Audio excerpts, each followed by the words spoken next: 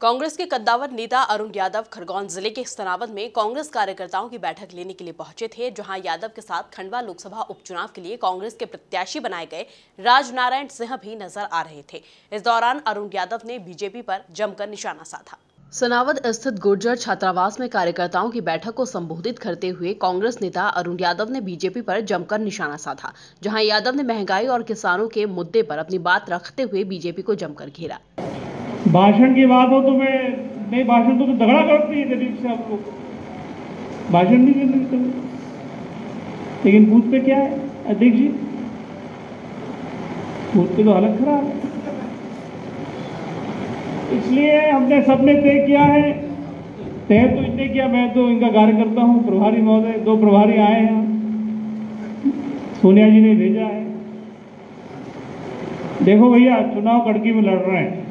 क्यों बोला ईमानदारी की बात तो ये। जो मिलेगा सब आपको दे हमको रखने वाले नहीं है। और पैसे की ज़रूरत कहाँ है? जब अपना बूथ जिताना है अपने गाँव की रक्षा करती है सुरक्षा करती है तो फिर पैसे कहाँ लग रहे हैं? जीजा बताओ। आपने शिष्य को उठाया एक तरफ़ ले गए। और कहने लगे जानते हो ये कौन बैठे और तुम्हें लेके जाओ बोले गीला का पास साहब। तो पैंतालीस सौ चार हज़ार रुपये बिकेगा क्यों चीज़ ऐसा ही है ना? दो हज़ार। ये हमारा वरिष्ठ युवा नेता सामने बैठा हमारे। दांत, नहीं दांत नहीं, लेकिन है बहुत युवा।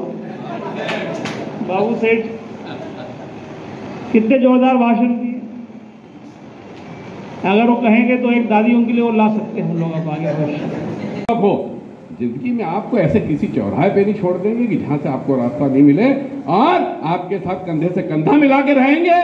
आपका मान सम्मान बराबर रहेगा और हर आदमी को राजनारायण सिंह समझो राजनारायण सिंह जैसी इज़्ज़त मिलेगी। यही आपसे कहना चाहता हूँ तो भाई को भेजो। बहुत बहुत धन्यवाद। बोल सिंह महाराज की जय। इस दौरान बड़ी संख्या में कांग्रेस कार्यकर्ता बैठक में मौजूद रहे, जहाँ सभी ने एकजुट होकर राज नारायण सिंह को चुनाव जिताने का संकल्प लिया।